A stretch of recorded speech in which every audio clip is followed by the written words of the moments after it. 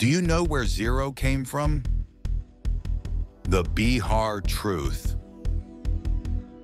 Number zero, the digit that changed the entire world, was born in India in a quiet town of Bihar.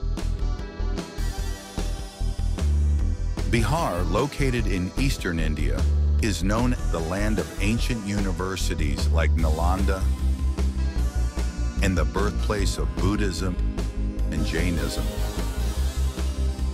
And here's the truth no one told you. Over 1,500 years ago, in the ancient University of Nalanda, a brilliant mathematician named Aryabhata changed history forever. He didn't just use zero as nothing, he made it a number of its own. This tiny circle unlocked infinite possibilities. From modern computing to space exploration. And the most astonishing part? Long before the world even knew algebra or decimals, Bihar's scholars were already teaching advanced mathematics and astronomy that Europe wouldn't discover for centuries.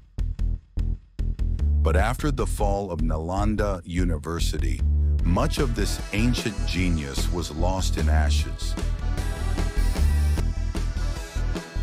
And the world almost forgot where zero was truly born. So next time you write a zero, remember it's not just a number, it's the symbol of infinity. Born in Bihar, the land where knowledge once lit up the world. Hidden truth, forgotten legacy. Now you know. Interesting, right? Hope you liked the facts shared today. Let us know your thoughts in the comments. Give us thumbs up and subscribe.